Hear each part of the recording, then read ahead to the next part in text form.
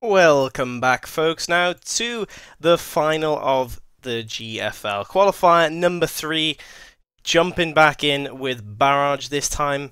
And they're playing a team that is certainly on form right now, Team Odin. But uh, we can't we can't just switch casters now. We're sticking with E4 Brutalize and sh- sh- and bathing or bathing, I should say, in his knowledge.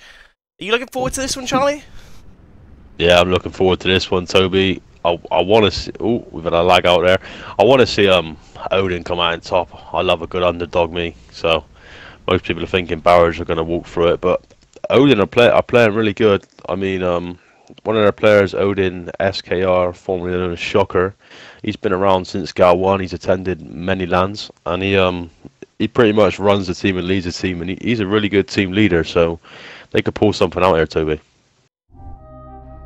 Yeah, and I think I think as we, we've mentioned it before throughout the stream that Barrage were perhaps making some sloppy mistakes, some some mistakes you wouldn't expect of that team, and you know it, it's down to these these Dutch players. These, I mean, they've got newspaper now, who is a, a new member for Odin, I think, since the previous GFL or maybe the first one. So it's not a new roster by any shot, but as you said, the experience of the likes of Shocker, um, who uh, which one's his gamer tag? Is that SKR now? Uh, SKR, yes. yeah. So yeah, with with the with the likes of DTEX, of course, we've we've seen him in many top teams before, uh, teaming with members such as uh, from members from Hostile, of course, another great team from EU, and obviously Zatox as well. I mean, you've got some really experienced players here who can certainly uh, show up for this final. Yeah, I mean, uh, DTEX is a great shotgun player. One of, probably one of the best EU shotgun players, actually. In fact, I mean, I've seen him do bits. When he teamed with Phantom Bear, he was a really good player, but they they said he was a bit too individual before uh, for their team. But I mean, when you're a good shotgun player, I mean, some people do like to take it on their hands to try and take one v ones and stuff. And I mean, Barrage will give him one v ones if that's what he wants. And I think we're in for an interesting game, Toby. Yeah, I can't wait. I can't wait to see how these shotgun play, uh, battles play out. Of course, Barrage are one of the stronger shotgunners in EU as well in these 1v1 situations. So definitely looking forward to this one, folks, and I'm sure a lot of you in chat are. Tell, tell you what, we've been predicting, putting predictions in for this for these games quite a lot. I want to hear in chat, or read in chat then perhaps, uh, who is going to win this first map or match. Just just point it out. Let us know. Uh, we're gonna have a look through. We're gonna see what the what the odds are on both teams, so to speak. And uh, uh, I really want to see what uh, everyone's thoughts on this is on chat. I mean, Personally, I'm going to go with Barrage. I think they're going to pull themselves up from the the sloppy mistakes that we've been seeing. I think they're just going to come through with a win. I'm not sure about you, Charlie. Yeah, I, I think we're going to see Barrage win, but I, I really want Odin just to prove us wrong, Toby. I, like, I know most people are going to think Barrage are going to win, but I'm just really hoping Odin can pull something out here. And by all means, I'm, I'm not trying to say they're the worst team or whatever, because we just haven't seen a lot of this roster, so anything can happen. And uh, with Gears being as uh, competitive in EU as it is, and all like the, the, the things that can be, all the spanners that can be thrown in the works, as you said, anything can happen. And I'm looking forward to Odin now really performing. I mean, we've seen them perform on a really consistent basis throughout these GFLs, perhaps more consistently than any team we've seen so far. They've got plenty of times to these semi-finals and these are now a final throughout these GFLs. And some people in the community, uh, in the wider Gears community as well, wouldn't assume Odin would be here. Uh, these are some relatively unknown players in terms of Twitch, We've, we usually we used to see in teams like Barrage Champions, your team of course, and our damage. But you know this is a relatively new team who are really wanting to put their mark on this uh, now. And uh, of course Barrage and Odin both have got really good seeding points. So really, there's the only thing to play for at this point is uh, either security into actually for like making it impossible to not get into the league through the seeding points or just the instant win. I mean, Barrage have come so close to winning the tournament now that they'll be really, really motivated to go for this one, Charlie. Yeah, definitely. But as I said, I, I think um, the GowForum League is just so great, Toby. Like it's people like Odin, like DTEX and Shocker and Zatox. I mean, it's it's just great for them to like get their names out there and really see what they can do. And it's, it's great to see a new team coming up and making it into top eight. And let's just see what they can do against Barrage now, Toby. Uh, but not, no, Adam's going to take that 1B in the water stairs now. Sorry, the water stairs, Torque Bow. SKR looking to try and find that 1B back, but he's going to get caught out now as Barrage rotated out. Barrage Dill, he's going to get that lantern down on Zatox as well, so that push is not going to work for him through that Torque Bow, as D-Tex is also going to get down now, and that's going to be a first round for Barrage. Yeah, we just saw a very quick round there. Uh, we was talking about Odin and their position, so I didn't really see what happened, Toby. But I'm pretty sure Odin went for a, a water push, and they got punished by Barrage. Obviously, Barrage went for the snipe, and when someone's on that bridge and you're doing a water push, it pretty much slims your chances of getting through. Yeah, and quite an unorthodox strategy for the, the water push that we've seen. You don't usually see them until like the late late map, uh, pulling out those open strats. So very drastic for them, but they've managed to get this torpedo now as Dill is now exchanged for this middle bridge area. Yeah, we're going to see Zatox there taking the hammer burst, Toby, really pushing them back on the low side. Take it mid-bridge, Shocker with down, Dill is on mid-bridge on his own being collapsed, and he manages to get one kill, but Zatox does get the down.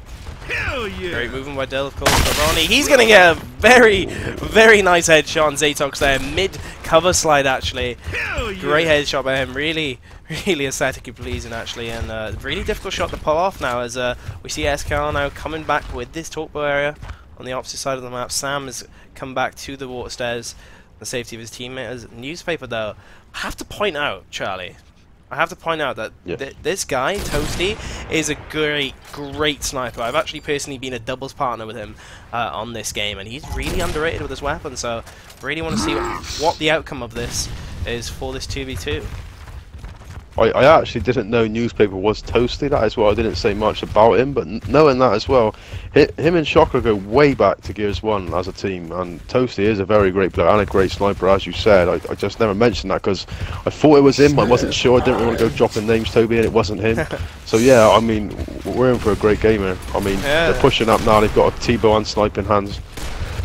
I like that push as well, Charlie. They dropped that torpedo, teardropped it in behind that second pillar, forced them off. But Barrage, yep, they weren't taking any chances now as Ronnie is rotated to the middle bridge. Like to see Shocker come back now and really play on Ronnie whilst he's on his own. Sam is slowly regrouping with him, but that that is a 2v1 there, Toby. Wait, if wait, Shocker wait. can... Yeah, why? I, I'm really confused now. Sam is just out of the middle of nowhere now. Perhaps another sloppy mistake now as they're finally pushing now this team Odin. Body check coming from Toasty. Great play by him to make sure he keeps his composure and hitting that. And it's all going to be down to Sam now. I'm not sure what was going through the head, Charlie. Yeah, I mean, uh, as soon as straight away I saw that play happen, Torque Bow 1v2, you don't sit on your own on mid-bridge. I don't know what he was thinking, but let's see what Sam can pull out here. He has got a snipe, but I'm pretty sure Shocker's still got a few T-bows left. Toasty's got a snipe in hand. This body check going out to Sam. Sam's going to try and get away from that. Pistol shots being fired at Sam. None managed to connect. Sam's really going to try and get back into that connector, trying to find some ground he can actually hold. Just uh, checking the timer actually, there is 1 minute 15. Sam has got the sniper, so they have to be careful in the way they approach this 2v1, but with that sniper in hand, you can create a lot of distance and keep this maintain this pressure. So time is on Sam's side potentially now as he tries to escape from this middle bridge area, using these nades perhaps to roll back in a minute. He has got a nade and a sniper. That's giving him a good advantage in this 2v1. I mean, he, there's only 50 seconds left on the clock, so he, he can stop the push with that nade any time, giving him an extra, well, at least an extra 10 seconds. I mean, it's going to be interesting to see what Odin try and do here. Time is not on their side now, and I think, yep, they've decided they don't need to waste time baiting that first nade now, and so Sam's going to have to rely on his snipe skills. And, uh, no, he's not going to run away. He's going to fight this, Charlie. 2v1 now. Great play by Sam. Great movement to maneuver his way around that rock, get that one shot off, but it's not going to work out for him as Toasty keeps his composure yet again and finishes that 2v1. Yeah, once again, so you you so spoke about um Barrage's sloppy plays and moves and like just leaving yourself in a 1v2 on mid-bridge isn't, isn't, the best thing to do, especially when you've got a T-bow and it's so easy just to T-bow the side of that and just just push it over, so. Hell yeah! That is uh, usually a beginner's mistake, I'd like to call. I hate it when the 2v1 is gifted like that, but Barrage, they're looking to be aggressive now into this round, though. They're going to take the first down and the first kill. Body check coming in from Ronnie now as he supports this push, counter push from Odin, and still going in ham with those up A's around the corner there. Great play by him now as they put one back on the board straight away. Yeah, lovely shotgun plays by Barrage there. I mean, Odin wanted to give it to him and fair dues to them because they they did try, but Barrage come off on top. I like that. I like that from Barrage. Coming coming back strong, really aggressive, really confident. You can tell from Dill's uh, shotgun, uh, shotgun confidence or aggressiveness. I suppose you could say that. They're looking to win this now, but Odin, they have other ideas. They're going to take the middle bridge this time, though, on this side. Barrage are going to be on the back foot now as they're trying to rotate out, it seems like, and perhaps secure this torque bow. Nades coming over the head of Sam. He's going to have to be careful, though.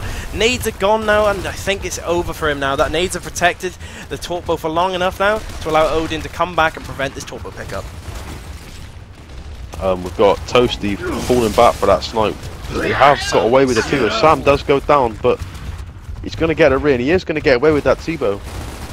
He's taking it back up the water stairs. He's, he's probably going to try and make a play high with that now. I can imagine. And try and take the try and take the connectors back. Yeah, I like that little buddy system Barrage had there with that torque bow and the revive. See that a lot, and of course that was the only thing that allowed Sam to get out there alive, is calling out for Hoffman, which I believe is Barrage Dill, and uh, just saying, we need to take this torque bow now. We need to take this, the, the opportunity to weapon side it is gone, the rotation's out, out of here, so we now need to take that, and I like how they did that actually. But, um, yeah, you can see Odin creeping now, but Dill, he wants some, he's got the full, the full red call out from his teammate, his shots are going to go in, but they're not going to bring about any play or kill out of that. I mean, we see st we still see Barrage Sam lurking at the bottom of water stairs now, so it doesn't have to be a passive round this one. I don't think Odin are going to allow it, judging from their movement up high as well. I'd, I'd, really like to see Sam maybe push low with Dill or go high side now before the second nades appear. Like you, you don't want to let them get the second nades and then try and push. You, you, want to try and take the map control before the nades are up and to get the nades yourself. I, I think they're playing a bit passive, Barrage. I, I really thought Sam would try and make a play high or low. But then Odin, I've got a good setup. They've got They've got someone holding the down low so Dill can't push up. The nades are up now, and I think Zatox Zatox has got the nades in hand. Chuck one at water stairs not going to connect. What I'd like to see in this in this point, Charlie, is either some uh, toasty position or newspaper, for those who are unaware, positioning for them to prevent this new snipe pickup, or even an actual push now to to prevent. Well, unless they already have it, Charlie, but I'm not too quite quite too sure right now. Ronnie, of course, has the first sniper, so you know the, it looks like it's just a it's just a wait now for these new power weapons to spawn. Sam is still in this low side area with this in hand, yeah. so there are plays still available, but you know Toasty and, uh, and uh, aka newspaper sniper is something to be feared uh, to some players who are aware. Yeah, I mean, it doesn't look like they're waiting for a second sniper. It looks like they're going to make a huge push up low now. Oh, drastic push they're pushing now. low. They're all going to go for this push now, all guns in. Detex is going to get killed by his teammate though with a pistol headshot. Barrage have already rotated all the way out to the other side, I believe, but uh, it looks like, yeah, there we go. Zatox and, and Newspaper, they're out of there. As Barrage have turned around and they've gone on this middle bridge area. Three on middle bridge. torque bow in hand. Snipe's not going to connect though. They're going to be in a lot of trouble here, Charlie.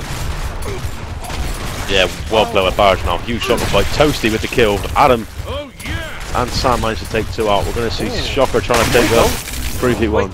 Bit, bit of Gears 1 wiggle we saw from Shocker then. I like that. Yeah, that, that was really uh, unorthodox for Ultimate Edition, something we typically see on uh, Gears 1. But, you know, I like that push from Barrage. Yes, they, they had a little bit of passive play throughout that round, but that seemed really uh, coordinated. You saw the push from Sam through that torque bow area that we'd like to see. Perhaps picking up that ammo on the way as well, but uh, who knows on that one. But they took that low side area, they took the numbers advantage, and they just turned on, and it all collapsed on them from there. Ooh, Toasty trying to push on the low headshot straight away.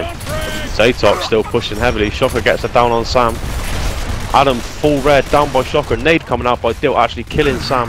Shocker manages to get the, the double, the down on Ronnie. Getting that double whack in just in time, that was really nice from Shocker holding it mid there. Run out of ammo. It's going to be all up to Barrage Dill this round for a 3v1. He's holding this block. Pistol fire coming out of anywhere.